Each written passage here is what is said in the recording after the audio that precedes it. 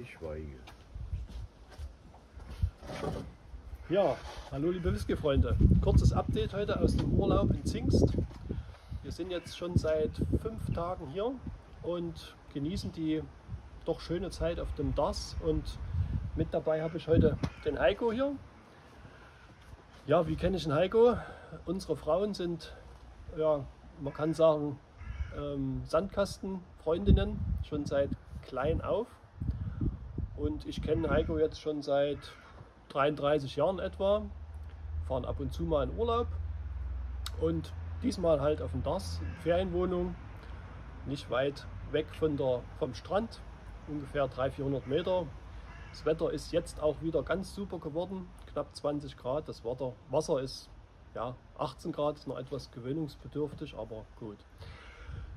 Heute kurzes Update zum Whisky. Ich hatte letzten Freitag euch den 12-jährigen Glenn Turner vorgestellt. Ja, gab es gemischte Resonanzen. Manche sagen, ja, kann man eigentlich nur mit Cola genießen. So weit würde ich gar nicht gehen. Es ist immerhin ein 12-jährig gereifter Whisky, der aus der Glenmorangie Distille kommt. Also ja, beim 12-jährigen Glenmorangie kann man auch sagen, es ist schon okay. Und der Heiko heute hat mal den, denselben Glen Turner, aber als Double Cask Heritage mitgebracht und zwar mit einem Port Cask Finish. Und da wollen wir mal gucken, ob ein Whisky ohne Alter vielleicht auch besser sein kann als ein Zwölfjähriger. Heiko gießt doch mal ein. Wir müssen heute ein bisschen mit den Gläsern improvisieren. Äh, ich hatte nur zwei mit in Urlaub genommen, da wir aber direkt vergleichen wollen. Den Podcast machen wir mal in diese Grappa-Gläser. Entschuldigt bitte diesen Fauxpas, aber im Urlaub muss das mal gehen. Ja, mach ruhig einen guten Schluck rein. Ja.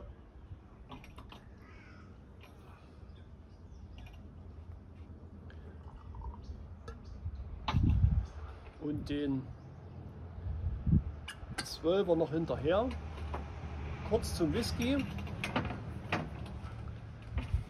Der hier hat im Gegensatz zum 12-jährigen so eine rote Tube, trägt kein Alter, hat auch bloß 40 Volumenprozente, ist auch gefärbt, leider auch kühl filtriert. Moment. Da ist kurz das Bild flöten gegangen, weil das Handy umgefallen ist. Aber wir machen sofort weiter. Ja, wie gesagt, ist heute alles improvisiert, ohne Schnitt. Wir werden dann auch so das Video so einstellen, wie wir es einfach quatschen heute. Ja, wie gesagt, rote Tube, 40 Volumenprozente gefärbt, äh, kühlfiltriert, hat einen Portwein-Finish, wo man nicht weiß, wie lange, wahrscheinlich relativ kurz, drei Monate vielleicht, schätze ich mal. Die Grundreifung des Whiskys wird wahrscheinlich auch nicht allzu lange gewesen sein, so fünf, sechs Jahre vielleicht, schätze ich. Ähm, ergänzen wollte ich nur, mir hat einer zum Freitagsvideo zu dem Zwölfjährigen ein bisschen was erzählt, weil ich ja nicht genau wusste, ob der nur aus der Glenmorangie Distille ist oder aus der äh, Glen Turner Distille in den Lowlands, ein bisschen westlich von Edinburgh in Bathgate. Und er meinte, es kann gut sein, dass die zwar einen, äh, eine Destillerie haben namens Glen Turner in Bathgate, aber dort nur Grain Whisky machen. Und der Malt Whisky äh, unter dem Namen Glen Turner kommt halt aus der Glenmorangie Distille in Glen Elgin. So könnte ich mir das auch ganz gut vorstellen. Ja, aber jetzt wollen wir mal gucken. Farbe brauchen wir glaube ich gar nicht ins Bild halten, weil sind beide gefärbt. Man sieht glaube ich gar nicht so einen großen Unterschied. Was sagst du? Ich glaube, man sieht gar nicht, dass das unbedingt ein Port-Finish ist hier. Aber gut, mit welchem wollen wir anfangen? Mit dem Port? Ja. Gut. Also dann, das Lunche, wollen wir mal riechen.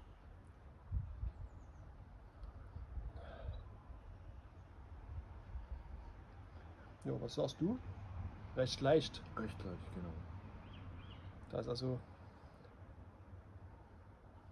nicht, nicht so sehr viel Aroma in der Nase.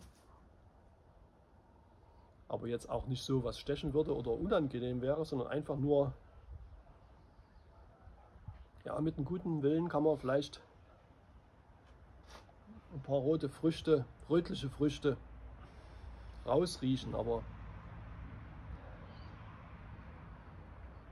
weit weniger würzig als der 12-jährige, wo der Holzeinfluss schon recht ordentlich war. Also hier hat man, ja wie gesagt, sehr, sehr leicht, bisschen Fruchtigkeit, vielleicht ein bisschen Vanille in der Nase mehr. Nicht. Ist da nicht, was sagst du? Nein, mehr ist da nicht. Gut, dann verkosten wir mal das Lunch.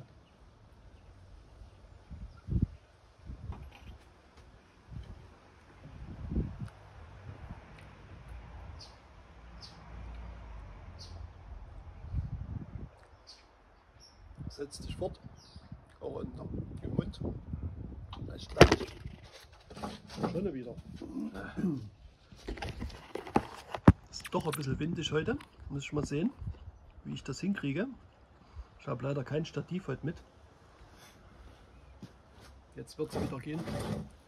Ja, wie gesagt, leicht. Ähm, Ja, ansatzweise ein paar Gewürze, die man so hatten. Von Schärfe kann man da nicht sprechen, aber ein bisschen Würze ist da. Aber keine Eichenwürze, sondern eher sowas wie ja, Kräutergewürze, sowas. Aber jetzt nichts, was Hm. irgendwie groß hervorstechen würde. Er ist auch schnell weg dann im Abgang. Aber gut. Achso, die Preise habe ich noch gar nicht erzählt. Wie gesagt, den hatte ich ja für 21 gekauft.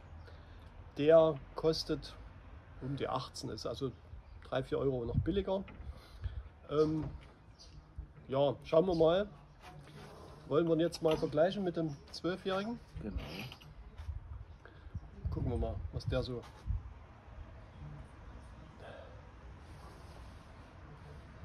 Ja, hat man schon in der Nase ein bisschen mehr Würze. Kräftiger im Geschmack. Ja, da ist schon in der Nase mehr Holz da. Aber ist natürlich auch wahrscheinlich weitaus länger gereift.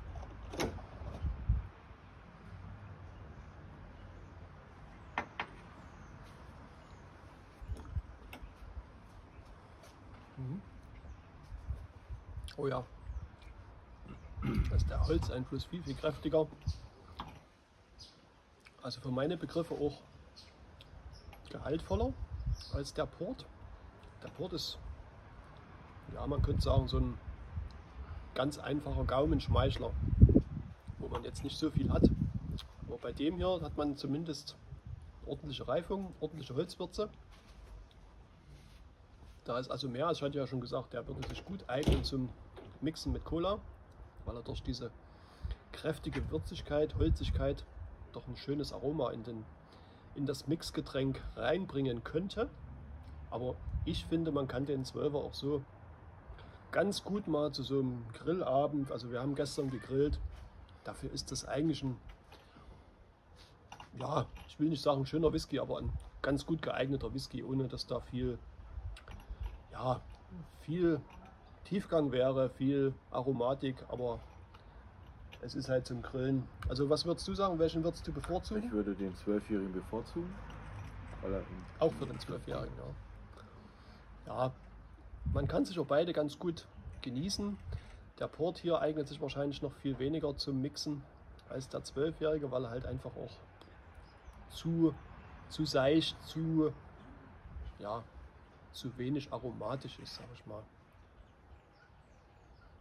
Ja, man hat so ein paar, ja, was sind das, ein paar, ansatzweise ein paar hellfruchtige Himbeeren oder irgend sowas, aber da ist nicht viel da. Mhm.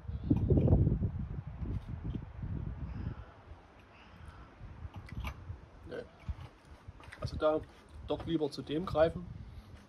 Ähm,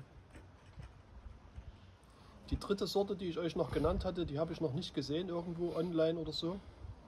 Ich weiß gar nicht mehr, was das war. Auf der Online-Seite von Glenn Turner gibt es noch eine dritte. Ich weiß gar nicht, was das war. Ich hatte es euch ja im Freitagsvideo gesagt. Habe ich aber noch nicht gesehen. Muss ich mal Ausschau halten. Aber der Brüller ist es ja sowieso nicht. Deswegen ja, wahrscheinlich werde ich mir dann eher schenken. Und wie gesagt, das Fazit ist, das sind ganz, ganz einfache Whiskys für einen schmalen Geldbeutel. Wobei der 12er meines Erachtens dann doch der bessere ist.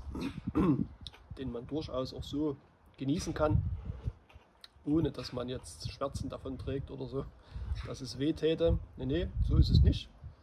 Ähm, ja, beim zwölfjährigen Glenn Murray würde auch niemand sagen, ja, das kann man nur zum Mixen nehmen. Der hat immerhin auch zwölf Jahre und meines Erachtens schon okay. Aber nichts, was ich jetzt wieder kaufen würde oder so. Gut, das soll es ganz kurz gewesen sein. Kurzes Update. Ich wünsche euch noch ja, schönes Restwochenende. Und wir sehen uns dann nächsten Dienstag in alter Frische mit einem ganz normalen Video wieder. Da bin ich zwar noch im Urlaub, aber ich habe fleißig vorgedreht für euch und bis dahin sagen Heiko und ich Slanche. Sanche.